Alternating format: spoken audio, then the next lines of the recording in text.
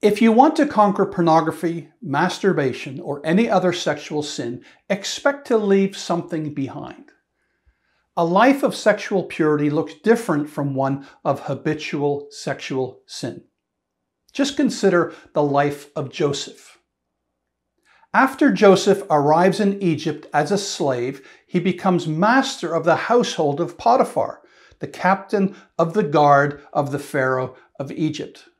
Now, Potiphar has a wife who notices that Joseph is, quote, handsome in form and appearance, unquote, and she lusts after Joseph. She invites him to have sex with her.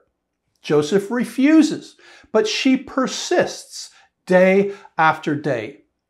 And Joseph consistently refuses her invitations to sin against God, but one day she takes things further.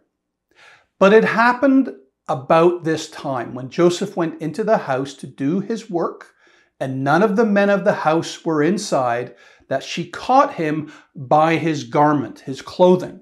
And she said, Lie with me. But he left his garment in her hand and fled and ran outside. Suddenly, Joseph not only has to ignore Potiphar's wife, he has to get away from her as well. But he can't leave the room if she's holding his clothing. So what does he do? Try to reason with her? Wrestle her, her hand away? stay right where he is and put up a token resistance and then gladly give in? No. Joseph leaves his clothing in the hand of his temptress and he flees and he runs outside. This is the remedy for strong sexual temptations. What you must leave behind depends on your trigger. It may be your smartphone. It may be your subscription to HBO it may be your job. But this is the pathway to holiness.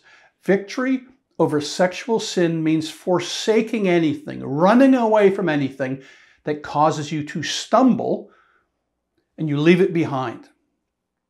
So, next time a seductive woman grabs hold of you online and tempts you to sin sexually, you know what to do.